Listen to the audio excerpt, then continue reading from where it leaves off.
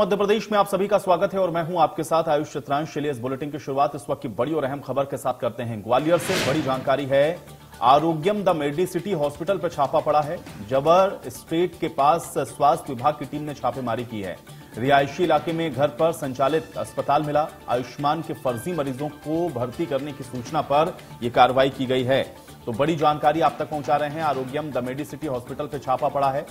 आरोप यह था कि आयुष्मान के फर्जी जो मरीज़ हैं, उनको यहाँ पर भर्ती किया जा रहा था और आरोग्यम द मेडिसिटी, यहाँ पर यह बड़ी कार्रवाई देखने को मिली है। ग्वालियर से यह बड़ी खबर है, आरोग्यम द मेडिसिटी हॉस्पिटल पर छापा पड़ा है।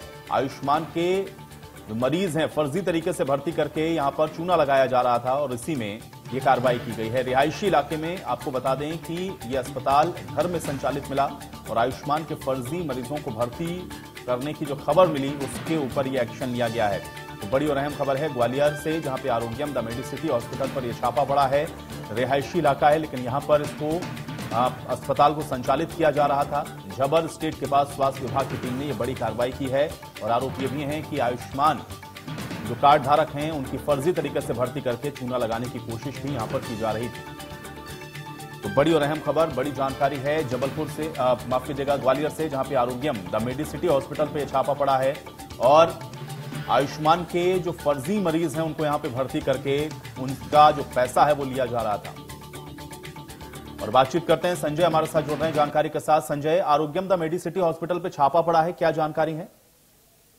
बिल्कुल मैं बता दूँ यहाँ पर इससे पहले जबलपुर के प्राइवेट अस्पताल में जो आग लगी थी उसमें दस लोगों की मौत हो गई थी। तमाम सारे अस्पतालों में आग आग, आग को आग के चलते यहाँ पर मौत हुई है चाहे पूरे देश भर में कहीं तमाम सारी जगह पर हुई है लेकिन इसके चलते जो प्रशासन ने फायर एनओसी के लिए जो एक टीम बनाई थी कि वो तमाम सारे बिंदुओं पर जाकर जाँच करेगी चाहे फायर फायर एनओसी का मामला हो चाहे एचआर का मामला हो चाहे आयुष्मान योजना का मामला हो तो कहीं ना कहीं वहाँ पर टीम गई।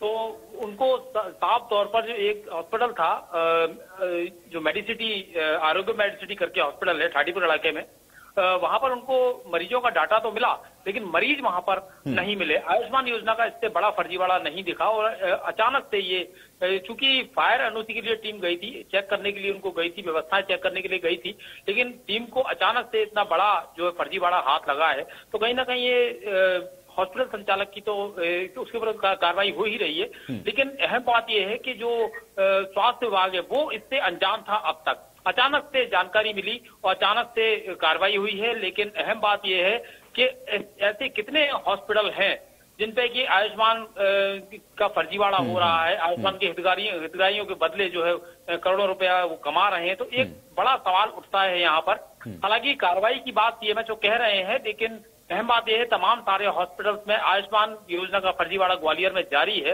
हम्म। तो ये कब तक जारी होगा प्रशासन किस तरीके से संज्ञान लेता है क्या क्या कार्रवाई करता है देखने वाली बात होगी जी हम्म। चलिए संजय बहुत शुक्रिया इस बातचीत और जानकारी के लिए